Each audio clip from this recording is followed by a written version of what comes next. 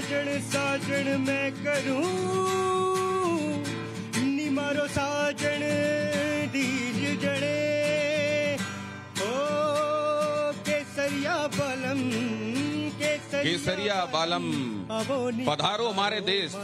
जब ये साफा आपके सर पर सज जाता है बंध जाता है उधर गौरव के सर पर भी सजा हुआ है तो आपका मान सम्मान और सोच समझ का जो तरीका होता है वो एकदम बदल जाता है। और यहाँ पर जहाँ हम मौजूद हैं ये है हठीली धरती।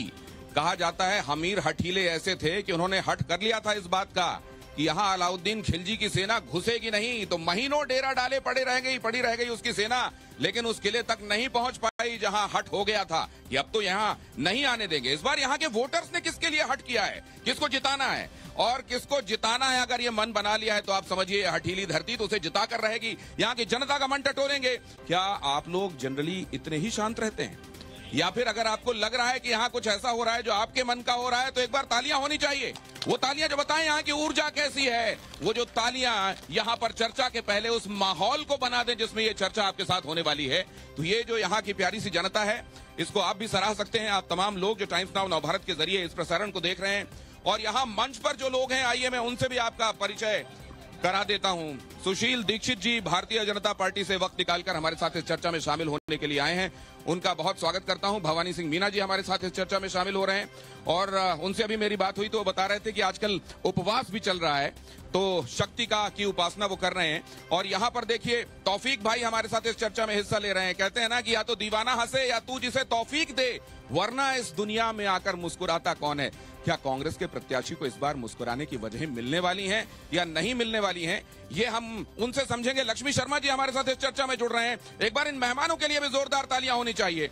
मैं आपके बीच में आऊँगा, आप लोगों के सवाल, आप लोगों की राय भी लूँगा, लेकिन सबसे पहले ये समझ लूँ कि मोदी को चुनाव के समय गालियाँ क्यों दी जाती मोदी को गालियाँ, आप जानते हैं 2007 से मौत के सौदागर वाला जो सिलसिला, जो एक जो समय स्टेटमेंट हुआ था, और आज वो बात पहुँच गई कि कवासी लकमा जीतेगा और मोदी मरेगा। आप अपनी जीत की कल्पना कीजिए, लेकिन किसी की मृत्यु के संदर्भ में कोई बात अपने मुँह से कैसे निकाल सकते हैं? क्या यह हमारी संस्कृति है? क्या हमारे चुनाव ये लोकतंत्र का सबसे बड़ा उत्सव कहा जाता है? क्या इसमें ऐसी ज़ुबान का इस्तेमाल होना चाहिए क्या? कांग्रेस के जो मेरे मित्र हैं, उनसे मैं ये समझूँगा, लेकिन पहले रिपोर्ट जरा देख लीजिए कैसे कांग्रेस ने चुनाव दर चुनाव असल में ये गलती की है, लेकिन लगता नहीं कुछ सीखा है। या असल में इसको गलती मानती भी है कांग्रेस? पहले रिपोर्ट देखिए।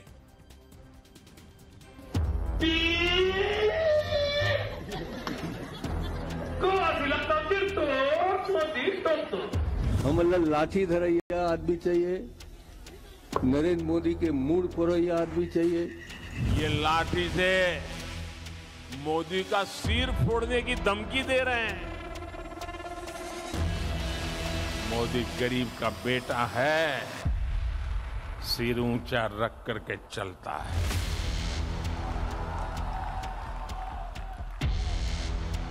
मोदी इनकी धमकियों से डरने वाला नहीं है। गारंटी फेल हो गई है।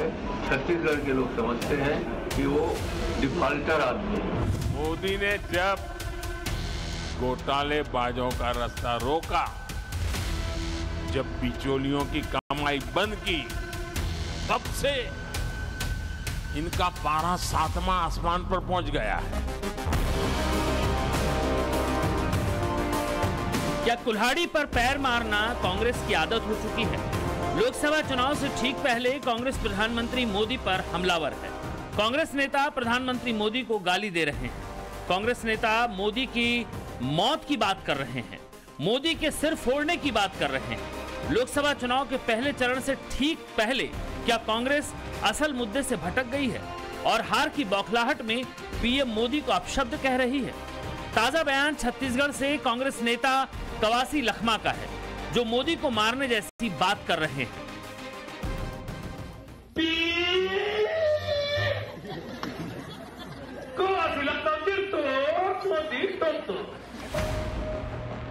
चंद दिन पहले छत्तीसगढ़ कांग्रेस के बड़े नेता चरणदास महंत ने मोदी का सिर फोड़ने की बात कही थी।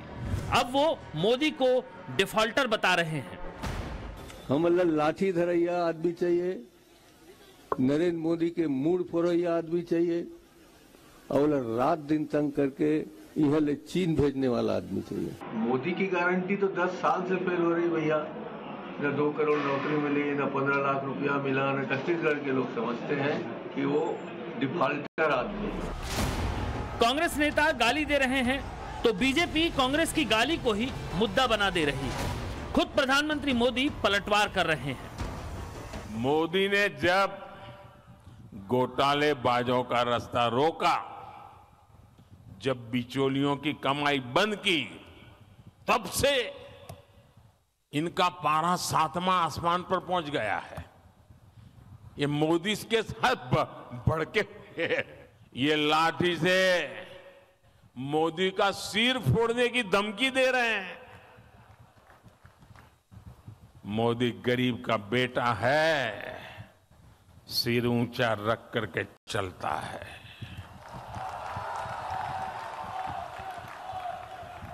मोदी इनकी धमकियों से डरने वाला नहीं है।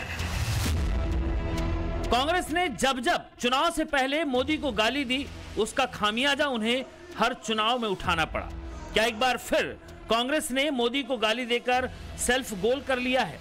क्या 2024 के चुनाव में कांग्रेस को मोदी को गाली देने का खामियाजा फिर से उठाना पड़ सकता है। क्या सोचती है जनता? जनता का मन टटोलने के लिए हमारी इलेक्शन यात्रा पहुँच चुकी है टोंक सवाई माधोपुर लोकसभा सीट। तो चलिए सीधे चलते हैं टोंक सवाई माधोपुर की जनता के बीच इलेक्शन यात्रा में। और जब ये रिपोर्ट आप देख रहे थे यहाँ पर बहुत सारे लोग ऐसे हैं जिनको किसी बात से आपत्ति है उनकी आपत्ति क्या है उनके पास जानने के लिए पहुंचूँगा। लेकिन उससे पहले जरा ये समझ लू ये सेल्फ गोल हर बार क्यों होता है तौफीक भाई? ये बदजुबानी कांग्रेस पर भारी पड़ती आई उसके बावजूद कांग्रेस ये गलती क्यों करती?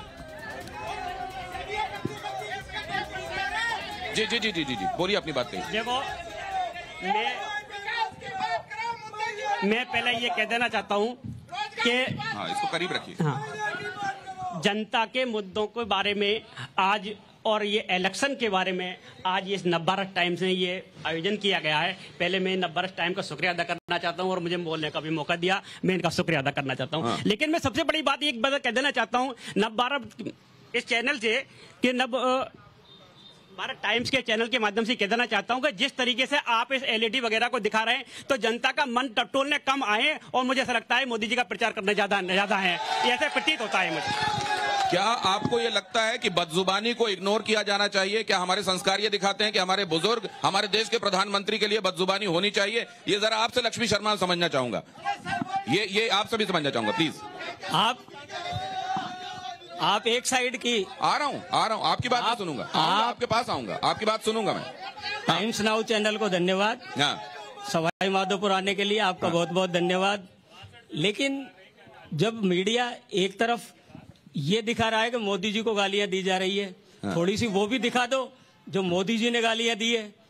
आप थोड़ा बताइए ना जनता को थोड़ा एनलाइटन कीजिए राजनीति में गालियों का आप चलन बता दीजिए। राजनीति में गालियों का चलन तब से शुरू हुआ है 2014 से। मोदी की दी हुई गालियाँ तो गिनाइए आप समझने की कोशिश मोदी। ने जो गालियाँ दी दो तीन बता दीजिए पहले क्या निकाह सोनिया गांधी के लिए?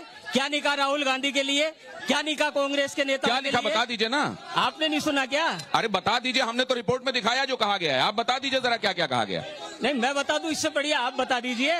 आपने कम बताया चलिए उनके पास ये तो नहीं बता पा रहे हैं वो लेकिन कह रहे हैं कि बदजुबानी तो दोनों तरफ़ से होती है दोनों सुशील जी। बताइए। और ये 2014 से शुरू हुआ है। अच्छा इसके पहले जवाब दीजिए जल्दी से मैं आ रहा हूँ जनता आपके पास आऊँगा खासतौर से आप लोगों के पास। मैं टाइम्स नव भारत का धन्यवाद देना चाहूँगा। आपने सवाई माधोपुर रणत भाव की धरती पर आकर ये कार्यक्रम को किया। और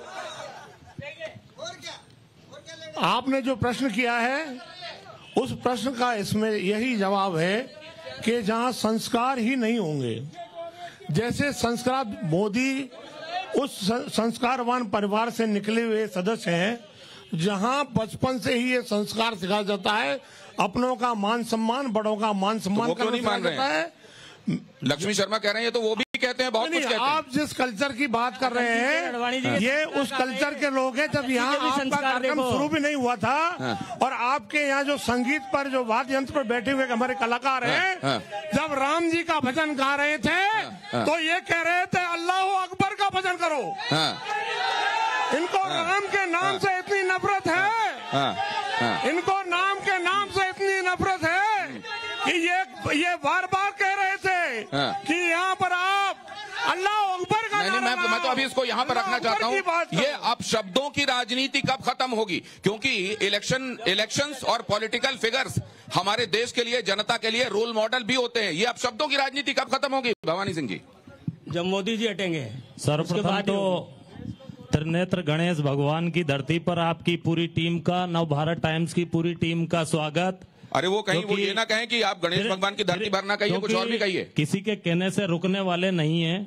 हाँ। और आप तो जानते ही है इनके इन्हीं हम्म। इन्हीं इन्हीं जवाबों से जनता ने इनको इतना साइड में खड़ा कर दिया कि आज चिल्लाने की नौबत इन लोगों को आ गई है। अभी अभी अभी जब ये कार्यक्रम शुरू हुआ तो आपने कहा कि नवरात्रि का पावन त्योहार है। तुलसीदास जी महाराज ने एक बात कही, ये धरती राम की है, कृष्ण की है, कि जाके प्रिय नहीं राम बेदे ही, तजियता ही कोटि बेरी सम जदपि परम सने ही ये भी भारतवासी हैं। जाके लेकिन इस देश की जनता ने इनको इसीलिए त्याग दिया क्योंकि ये भगवान राम का विरोध करने जी जो जनता विचार का विरोध करने वाले। जनता में हर तरह की आवाज़ हर तरह की बातों को सुना जाना चाहिए। यहाँ पर लोगों ने कुछ लोगों ने ये कहा कि आप तो जब ये रिपोर्ट दिखा रहे हैं ऐसा लग रहा है आप मोदी जी का प्रचार कर रहे हैं। कवासी लकमा ने जो कहा क्या वो टाइम्स नाउ और भारत के इशारे पर कह दिया? ज़ाहिर है नहीं कहा। क्या मोदी मरेगा? इस तरीके की भाषाओं का ये लोग समर्थन करते हैं? शुरुआत इन्होंने की 2014 में। सोनिया गांधी के लिए क्या बोला था? कि महिला शक्ति का सम्मान करने वाले प्रधानमंत्री दीदी ये धरती अगर हिंदुओं की है तो मुसलमानों की भी है। धर्म निरपेक्ष देश है। ये आप लोगों ने आप लोगों ने ये कर रखा है। कवासी लकमा ने जो कहा वो हमने आपको सुनाया। मणिशंकर अय्यर ने जो कहा वो मैंने आपको सुनाया। सोनिया गांधी ने जो कहा वो मैंने आपको सुनाया। ये मेरे ऊपर आप उंगली क्यों उठा कौन है? किसने किया? एक बार ये आप आप राम कौन है? अल्लाह कौन है? ये किसने किया? राम कौन है? अल्लाह कौन है? भवानी सिंह जी जवाब दीजिएगा। कौन है? राम कौन है? अल्लाह कौन है? सर मैं राम का सर मैं सवाई माधोपुर के विकास की बात करना चाहूँगा। ना कि बदजुबानी की बात करना चाहूँगा। सर विकास की सभ्यता सभ्यता भी सभ्यता के विकास क्रम में हमको अपने संस्कारों का ध्यान रखना चाहिए भाषा का ध्यान रखना चाहिए।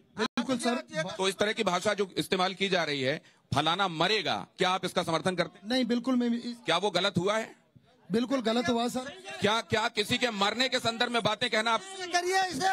ये किसने किसने शुरुआत की बताइए। करिए क्या क्या कहा था उन्होंने जिससे शुरुआत ये ये कांग्रेस की विधवा जर्सी का है ये किसने कहा है? बताओ आप। आप स्थानीय मुद्दे की बात करिए जिस पे आप चुनाव लड़ संस्कार और सभ्यता स्थानीय मुद्दे नहीं है? संस्कार है लेकिन जो मेन समस्या है यहाँ की जिसके लिए आप आए हैं किस मुद्दे पे चुनाव होना किस मुद्दे पे वोट संस्कार और सभ्यता है मुद्दा है। लेकिन जिसके लिए आप आए हैं उस पर बात कीजिए। संस्कार सभ्यता ठीक है, है। क्या वाकई इतना मार्जिनलाइज्ड है हमारे लिए भाषा का संस्कार? ये भी समझो। मोदी जी की जो काबिलियत है और जिस प्रकार से उनका ग्राफ बढ़ा है उससे आपको लगता है कि ये चार जने चार कोने में रह गए हैं। अगर इनकी यही संस्कृति रही तो अगले चुनाव में चार भी आपको नहीं मिलेंगे। ये चार भी नहीं मिलने वाले। ये सब साफ़ हो जाएगा मैदान। आपने संस्कार की बात करी तो संस्कार की बात करें तो माननीय सोनिया गांधी ने सबसे पहले मोदी जी को मौत का सौदागर कहा है गुजरात विधानसभा चुनाव में। तो बदजुबानी की शुरुआत तो इन लोगों ने ही की है। कांग्रेस की संस्कृति में बदजुबानी लिखी हुई है। वो भी कुछ एक टिप्पणियाँ बता रहे हैं उन टिप्पणियों पर आपको क्या कहना है? सोनिया गांधी जी ने गुजरात विधानसभा मोदी मोदी का कोई जवाब नहीं है इनके पास। इनके पास मोदी का कोई जवाब नहीं है। मोदी जी ने जो देश को आगे बढ़ाया है वो आज की तारीख में कोई नेता बढ़ा ही नहीं सकता। नहीं वो सब तो ठीक है लेकिन इस पर तो वो ये कह रहे हैं कि यहाँ का मुद्दा नहीं है ये सब बाकी बातें बाद में ये तो मुख्य मुद्दा है। ये यहाँ का मुद्दे तो सब एक होते हैं ये तो पूरे राष्ट्र का मुद्दा लोग सर मैं युवा युवाओं रोज़गार का क्या? रोज़गार का क्या हमें रोज़गार रोज़गार नहीं मिल रहा है आपको? नहीं मिल रहा है। कितना पढ़े लिखे हैं आप? सी बी एस सी है रोज़गार नहीं मिल रहा। किसको दोषी मानते हैं आप? केंद्र सरकार को। केंद्र सरकार को दोषी मानते हैं। इसके पहले जो राज्य सरकार विदा हुई है अभी कुछ दिनों पहले उसका उसको आप पाक साफ़ मानते हैं। उनके उनके काल में मेरे भैया को रोज़गार मिला है। ये मोदी जी की भारी बहुमत से केंद्र में सरकार बन रही है उसकी बोखला। नहीं नहीं वो कह रहे हैं कि युवाओं को रोज़गार नहीं मिला केंद्र सरकार जिम्मेदार है। इस पर आपका क्या कहना है? पिछली गवर्नमेंट ने पेपर लीक किया करप्शन किया, बजरी का और घोटालों की सरकार कहलाई। विधायक सीएम बन के घूम रहे थे, चारों तरफ़ लूट मचाई। जनता में त्राह त्राह हो गई एससी एसटी दलित, महिला और युवा बेरोजगार कर दिए। कोई बेरोजगार भत्ता नहीं दिया। किसानों के लिए इन्होंने कहा था नहीं तो आप कहते हैं आप कहते हैं हर एक पार्टी हर पॉलिटिकल पार्टी आज की बेरोजगारी के लिए जिम्मेदार है? या केवल कांग्रेस की सरकार जो पहले थी वो? कांग्रेस केवल कांग्रेस मैं इसका जवाब लूँगा उधर आकर। और ये राम की नहीं है और कणकण का राम है पूरी दुनिया में और पूरी दुनिया सारे धर्म मानते हैं सनातन धर्म मानता है राम और मोदी का ये विरोध करते हैं। इट मीन ये संस्था का पूरी जन्म और धरती का वो ये भी पूछ रहे हैं कि राम और अल्लाह कौन है जरा ये बताइएगा लेकिन उससे पहले मोदी जी ने इतना महिलाओं के काम किया है बेटियों के लिए महिलाओं के लिए स्वस्थ गैस हर घर घर में पानी पहुँचाया है। और बेटी बचाओ बेटी बचाओ के लिए पूरा मोदी जी ने किसानों के लिए महिलाओं के लिए। आपके भी बच्चे हैं क्या? तो वो उनको रोज़गार मिल गया है वो ठीक है? मेरे तो बेटी है तीनों तीनों काम कर रही है। तो जिनको रोज़गार नहीं मिल रहा है और केंद्र सरकार को वो जिम्मेदार ठहरा रहे हैं उसके बारे में आपका क्या कहना नहीं वे खुद अपने कर्मों से ठहरा रहे खूब मिल रहा है। और रोज़गार क्यों नहीं मिलाना शुरू से अभी गई है इनकी सरकार कल जब ले लेते हैं रोज़गार क्यों नहीं लेने राजस्थान में चल रही है भाई ये कितना ही पचपन कर लो आएगा तो मोदी चाहे कुछ भी कर लो इस पे मैं आपकी टिप्पणी लूँगा। रोज़गार इसलिए नहीं मिला है कि इनकी सरकार में पेपर चोरी हुए हैं पेपर चोरी होंगे तो जब नहीं पढ़ने वाले बच्चे नौकरी लगेंगे और पढ़ने वाले रहेंगे जब आप, जब कांग्रेस की सरकार यहाँ पर थी तो उस समय पेपर लीक हुए, और पेपर लीक होंगे तो रोज़गार ज़ाहिर है, फिर एक बैक सीट ले लेगा, यहाँ पर मैं वापस आऊँगा, लेकिन मैं अनुरोध करूँगा, जिन लोगों से बात हो चुकी है, वो थोड़ा प्लीज़ पीछे की तरफ़ जाएँ, और सामने की तरफ़ उन लोगों को आने दें, जिनकी बात अभी तक नहीं शामिल की गई है। मैं तब तक जरा फिर से स्टेज पर जाना चाहता हूँ, लेकिन उससे पहले, जब इस तरीके की बातें आप देखते हैं, गौरव, एक दूसरे पर छीटा कशी की, गाली गलौज की तो आपके दिमाग में क्या आता है? सर, मेरे दिल से तो ये सिनारिया देख के एक ही गीत उमड़ के निकल रहा है। नफरत की लाठी तोड़ो, लालच का खंजर पैको सिद्ध के पीछे मत दौड़ो। तुम प्रेम के पंछी हो, प्रेम से मिलो। आपस में प्यार करो देश प्रेमियों तुम देश प्रेमियों। देश प्रेमियों को आपस में प्यार। अब एक बात एक, एक सेकंड ये रोज़गार के लिए ये रोज़गार एक एक एक युवा साथी ने उठाया। वो कह रहे हैं केंद्र सरकार जिम्मेदार है लेकिन उधर से दूसरी आवाज़ें आ रही हैं कि इधर तो पेपर लीक हुए। ए, मैं यूँ कह रहा हूँ आपसे मणिपुर को तो छोड़ो। मोदी क्या इंदिरा कांग्रेस से पहले पैदा हुआ था क्या? ये बताइए जिस, जिस कॉलेज में पढ़ा हुआ है वो कॉलेज भी तो कांग्रेस का बना हुआ है। और दूसरी बात उसके पास कहाँ से आएगा? आप ये बताइए कि मोदी एक ही ईमानदार व्यक्ति है? अच्छा मैं एक बात जानना चाहता हूँ आपसे। आप भी उसके उसके करके संबोधित कर रहे हैं। क्या बगैर किसी को इज़्ज़त दिए बगैर आदर उसकी उसका वैचारिक विरोध नहीं हो सकता क्या? क्या उसके लिए अब शब्दों का इस्तेमाल क्या क्या जो क्या, क्या आदर सूचक शब्दों का इस्तेमाल किए बगैर बात करना ज़रूरी है? एक बात ये आपने लिखा है नव भारत बनेगा भारत। दो हज़ार चौदह से चौबीस तक नहीं बना क्या भारत? और नहीं बना तो सरकार क्या करी थी? और अब चौबीस के वैसे आपको क्या लगता है? आप जाते होंगे पूरे देश भर में रोडों में भी ट्रैवल करते होंगे। घर के नहीं नहीं मैं जानना चाहता हूँ हुआ कि नहीं हुआ है? एक, दो करोड़ लोगों का रोज़गार दिया देने का वादा किया था मोदी ने एक साल में। कहा गया वो दो? क्या यही मोदी की वो दो करोड़ रोज़गार देने का वादा किया था मोदी सरकार ने। अच्छा आप उधर से इधर आ गए वेरी गुड तो फिर वो कहाँ गया? ये दो करोड़ रोज़गार की बातें कही गई थी। नव भारत बनेगा ये बातें कही गई थी वो उन बातों का क्या हुआ सुशील जी? आपसे। देखिए विरोधियों के पास में कोई मुद्दा नहीं है। खाली बहाने बनाने थे। बहानों के अलावा कोई दूसरा काम नहीं है। रोज़गार की बात जहाँ तक कर रहे हैं, मोदी जी ने जितने रोज़गार दिए हैं, शायद इनकी कल्पना से बाहर है, इनको दिख नहीं रहा है। और रोज़गार एक ऐसी चीज़ है वो व्यक्ति के स्वयं के ऊपर निर्भर करता है। यदि व्यक्ति अपने आप को स्वरोजगार करना चाहेगा तो बनेगा। यदि अपने आप को रोज़गार सड़क पर नहीं नहीं आप स्वरोजगार कह रहे हैं। तो, आप स्वरोजगार कह रहे हैं। मतलब ये है कि अगर आप एंटरप्रेन्योर हैं तो ठीक है वरना कोई नौकरी की व्यवस्था है सच नहीं हो सकती आप ये कह रहे हैं। नौकरी की व्यवस्था में कोई कमी नहीं है। इससे पहले राजस्थान में इनकी सरकार रही है। राजस्थान में पाँच साल तक इन्होंने बेवकूफ़ बनाया जनता को। पेपर उन्नीस बार पेपर लीक हुए। उन्नीस बार पेपर लीक हुए एक रोज़गार राजस्थान की सरकार ने नहीं दिया। एक भी रोज़गार दिया बता दो आप मेरे को। और आदरणीय भजन लाल जी की सरकार ने आते ही सबसे पहले नहीं यहाँ पे यहाँ पे मैं ये भी बात कर रहा था लोगों से जी। कि मेडिकल कॉलेज यहाँ पर बहुत दिनों से अपेक्षित है आज तक इंतज़ार है। यहाँ इंडस्ट्रीज़ के लिए जो काम किया जाना चाहिए वो इंतज़ार अभी इंतज़ार ही है। क्या क्या क्या ये बात सही है? अब मेरी बात मेरी बात सुनिए। अब ये विकास की बात कर रहे थे। विकास की बात बताता हूँ। मेडिकल कॉलेज सवाई माधोपुर की धरती पर बन रहा है और वो मोदी जी की सरकार के द्वारा बन रहा है। आप खुली से जगह देख सकते हैं। हाँ। इन कांग्रेसियों ने इस कांग्रेसियों ने सवाई माधोपुर की धरती के किसानों से- ये, ये नारे क्यों आ रहे हैं? झूठ मत सवाई मा आप जाके देखिए ना।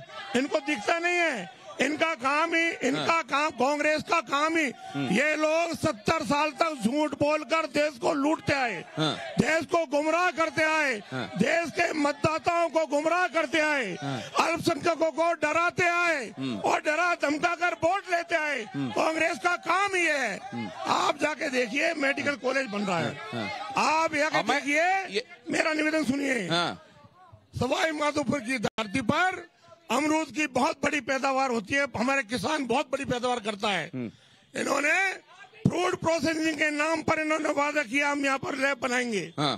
गोदाम बनाएँगे। तो आप कर रहे हैं अब? बिल्कुल। अब होगा। हमारी सरकार बने होगा। हाँ। और हमारी सरकार ने हाँ। हमारी सरकार ने वो काम किया है जब तक वो नहीं बने ठीक है, मेडिकल कॉलेज तक वो नहीं फ़ूड बने प्रोसेसिंग और मेडिकल कॉलेज हाँ। जब तक वो नहीं बने हाँ। दिल्ली मुंबई एक्सप्रेस वे बना दिया हाँ। ढाई घंटे के अंदर हाँ। सवाई माधोपुर के क्या इसको आप लोग विकास में गिनते हैं कि नहीं गिनते हैं? मैं आपके पास आऊँगा लेकिन ये जरा इस पर आपका जवाब चाहूँगा। इसने किए इतने सारे विकास के काम किए तो जल्दी से। ठीक है सुशील जी। मैं आपको ये बता देना चाहता हूँ कि जिला अध्यक्ष जिला अध्यक्ष महोदय ने बार बार चीख चीख कर चिल्ला चिल्ला करके जिला अध्यक्ष महोदय बार बार चीख चीख कर चिल्ला चिल्ला करके ये कह रहे हैं कि हमारे सरकार काल में ये हुआ हमारे कार्यकाल में हुआ। लेकिन इन बातों का कहने के समय मैंने जिला अध्यक्ष ये कहना चाहता हूँ कि उनकी बातें और ज़ुबान अपने आप लड़खड़ा जाती है क्योंकि रोज़गार के नाम पर एक शब्द उनके पास कहने के लिए नहीं है और बेरोजगारी के नाम पर एक शब्द उनके कहने के लिए नहीं है विकास के नाम पर एक शब्द उनके पास कहने के लिए नहीं है और किसी भी बिंदु पर वो एक शब्द कहने के लिए तैयार नहीं है। आपको मैं बता देना चाहता हूँ आप कहते हैं कि सत्तर साल में कांग्रेस ने झूठ बोल करके, गुमराह कर करके ये काम किया, वो क्या, काम किया। 2014 से ले, आप शांत होकर के सुने। आप मेरी बात को सुनने की कोशिश करें और अपने आप को इसको समझने की कोशिश करें। मैं आपको बता देना चाहता हूँ, आप आप चीख चीख करके, चिल्ला चिल्ला करके चीखना चिल्लाना, ये ये तुम लोगों की फितरत हो सकती है, हमारी फितरत नहीं है। हमारा काम साइलेंट तरीके से सुनना है और सुनाना है और आम जनता को समझाना है। आप एक नहीं मतलब अपनी नहीं, लेकिन एक बात और मैं समझना चाहता हूँ, तौफिक भाई। केंद्र सरकार जो योजना बनाती है या राज्य सरकार जो बनाती है ज़ाहिर है उसका लाभार्थी हर हर तबके से आने वाला व्यक्ति होता है। हर कम्युनिटी से आने वाला व्यक्ति होता है। फिर ये राम और अल्लाह वाली बातें उधर से क्यों सुनाई दी? जरा मैं इसका जवाब ले लू भवानी सिंह जी से। देखो दे- एक बात मैं बता देना चाहता एक हूँ। राम और अल्लाह की आप बात पूछना चाहते हैं इधर से नहीं आई है आप लोगों की तरफ़ से आई है। सबसे स्टार्टिंग पहले आपने शुरू कर है उन्होंने उन्होंने कहा कि राम और अल्लाह के विषय में पूछो। तो राम के नाम लेने से भाई राम का नाम लेने से नफरत तकलीफ़ क्यों है है ये प्रमाण है भवानी सिंह जी राम का नाम लेने के लिए एक सेकंड, भवानी सिंह जी से भवानी सिंह जी से बात करने दीजिए। भवानी सिंह जी से बात हिंदुस्तान में अगर राम से शुरुआत होगी तो से आपका हिंदुस्तान में अगर राम आप लोगों हिंदुस्तान में अगर राम का नाम नहीं लिया जाएगा तो पाकिस्तान में लिया जाएगा। हिंदुस्तान में राम का नाम नहीं लिया जाएगा तो पाकिस्तान में लिया जाएगा। आप लोगों का सब्जेक्ट पूरा नहीं होगा इस बात पर लेकर के। मैं कह देना चाहता हूँ जन्म से लेकर नाम पे जन्म से लेकर अंतिम करे कर्म तक बोलते हैं राम नाम सत्य। दे सकता एक शब्द बोल। जन्म के नाम पे नहीं बोल सकते सिर्फ़ यही शब्द बोल सकते हैं कि राम और भगवान के नाम की बात हैं आप। अच्छा एक चीज़ और मैं समझना चाहता हूँ मैं एक बात और समझना चाहता हूँ। मैं तौफिक भाई बढ़िए एक सेकंड भवानी सिंह जी एक अहम बात कह रहा हूँ मैं एक अहम बात कह रहा हूँ और यहाँ यहाँ जो लोग मौजूद हैं उनसे भी जानना चाहता हूँ कि क्या साढ़े चार सौ एक सेकंड मेरी बात सुनिए। ये पाँच सौ सालों का जो इंतज़ार था हर एक हिंदू का मर्म आहत था इस बात से कि उसके भगवान राम टेंट में बैठे हुए हैं। क्या ये हिंदुओं का मुद्दा नहीं है? क्या ये हिंदुओं का यहाँ की जनता का कितनी इस देश की धरती का मुद्दा नहीं है क्या? इस मुद्दे को कितनी बार लक्ष्मी शर्मा जी लक्ष्मी शर्मा जी से तौफिक भाई आप बोले खूब बोले। लक्ष्मी शर्मा जी आप ही की तरफ़ से बोल रहे हैं। लक्ष्मी शर्मा जी आप ही की तरफ़ से बोल रहे हैं। एक बार एक बार बात करने दीजिए। आप अपने आदमी को नहीं बोलने दे रहे हैं। आप बोलने नहीं दे रहे। आप बोलने नहीं दे रहे। अगर आप उनको नहीं बोलने देंगे तो बात कैसे सामने आएगी? बात बोलने दीजिए। देखो राम राम राम हमारे लिए आस्था का केंद्र है। वो हमारे दिलों में बसते हैं और इनके लिए व्यापार का केंद्र है। भारतीय जनता पार्टी राम को व्यापार में काम लेती है। सुनिए आप आप सुनिए, आपने हाँ। पूछा है। तो पूरा सुनिए। हाँ। राम को लेकर के राम जन्मभूमि को लेकर के एक चुनाव जीत लिया। हम्म। दुनिया को बेवकूफ़ बना करके और दूसरा चुनाव राम मंदिर को लेकर के जीत लिया। राम के नाम जीत लिया? आप कह रहे हैं जीत लिया? सुनो सही। राम मंदिर को लेकर चुनाव जीत लिया कह रहे हैं? सुनिए आप चुनाव जीत लिया ये कह रहे हैं? अब अब प्रचार तंत्र में आप जैसों को लगाकर और ये राम को फिर दोबारा बेच रहे हैं और फिर व्यापार कर रहे हैं। राम का नाम। ये बताइए इस देश की आस्था। आप- उनका मुद्दा है कि नहीं जरा मेरे को नीचे जाने दीजिए। यहाँ कांग्रेसी भाई इधर जो खड़े हैं उनसे भी पूछूँगा। राम का नाम ये आस्था उनके लिए मुद्दा है कि नहीं? भारत धर्म निरपेक्ष देश है। इसमें हिंदू निवास करता है मुसलमान में निवास करता है उसका भी इतना ही हक है। ये ये हेमंत हेगड़े और ज्योति मिर्धा जो बीजेपी के सांसद प्रत्याशी है ज्योति मिर्धा और हेमंत हेगड़े भाजपा सांसद है। ये कह रहे चार सौ पार इनको इसलिए लाना है ताकि ये संविधान खत्म करे। क्या इस संविधान ने इस देश के नागरिक क्या इससे पहले संविधान में संशोधन नहीं हुआ? राम का भजन सिया राम सिया राम है। उदंडी लोगों का नारा जय श्री राम है। श्रद्धालु लोगों के लिए राम भगवान है। पाखंडी लोगों के लिए वोट का सामान है। आप आप इतने सारे लोगों को बेवकूफ़ बना रहे हैं ये सिर्फ़ बीजेपी का प्रचार कर रहे हो आप। ओरिजिनलिटी बीजेपी का प्रचार कर रहे हैं। राम का नाम लेना बीजेपी का प्रचार है। राम इस देश की आस्था का केंद्र नहीं है।